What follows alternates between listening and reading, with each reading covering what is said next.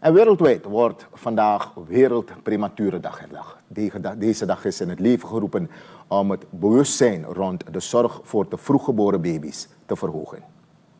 Gedurende de maand november ligt de aandacht op het onderzoek en de behandeling van deze baby's en de ondersteuning die ze krijgen. Volgens kinderarts Aifara Franchi van het Academisch Ziekenhuis Paramaribo zijn er verschillende soorten prematuren. Normaal gesproken is een baby voldragen na ongeveer 40 weken zwangerschap. Alle baby's die voor 40 weken zwangerschap worden geboren, worden gecategoriseerd als prematuur, meent de kinderarts. Je hebt extreem premature, dat is onder de 30 weken. Um, en je hebt dan premature tussen de 30 en de um, 36 weken. En rond de 36 weken noemen we ze een randprematuur. Voor het gemak laten we weken omzetten in maanden, zodat men het makkelijker kan snappen. Um, 7 maanden is 28 weken.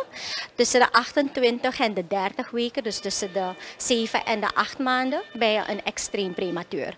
Maar in Suriname, vaak genoeg, de kinderen die onder 27 weken geboren worden, um, hebben eigenlijk heel veel complicaties en meer, um, meer behandeling, extreme behandeling nodig, die eigenlijk niet nog in Suriname um, te vinden is. En ze zijn veel te klein. Als ze onder de 750 gram zijn en onder de 27 weken um, hebben we niet alle beademingsmachines die deze kinderen kunnen ondersteunen om in leven te kunnen blijven. Maar er zijn een groep onder de 750 um, gram die zijn geboren en die, die vandaag rondlopen. Nathanael Holband is kinderarts in opleiding. En hij vindt dit het meest dankbaar beroep binnen de geneeskunde. Kleine kinderen kunnen zichzelf niet beschermen en dat moet jij als arts doen, meent hij. Holban vindt het een goed idee dat ook in Suriname aandacht aan de prematurendag wordt besteed.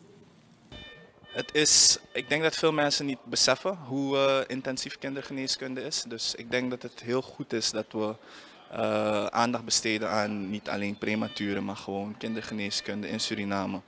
Um, omdat uh, het natuurlijk de toekomst is van morgen. Um, en zeker de prematuurtjes, uh, de onrijpe kinderen, de kinderen die zoveel aandacht nodig hebben bij geboorte. Dat is zeer bijzonder dat we überhaupt dat hier kunnen doen op zo'n hoog niveau. En ik ben zeer trots dat er dus ook aandacht daaraan wordt besteed. In het academisch ziekenhuis Paramaribo worden per maand ongeveer 15 baby's prematuur geboren.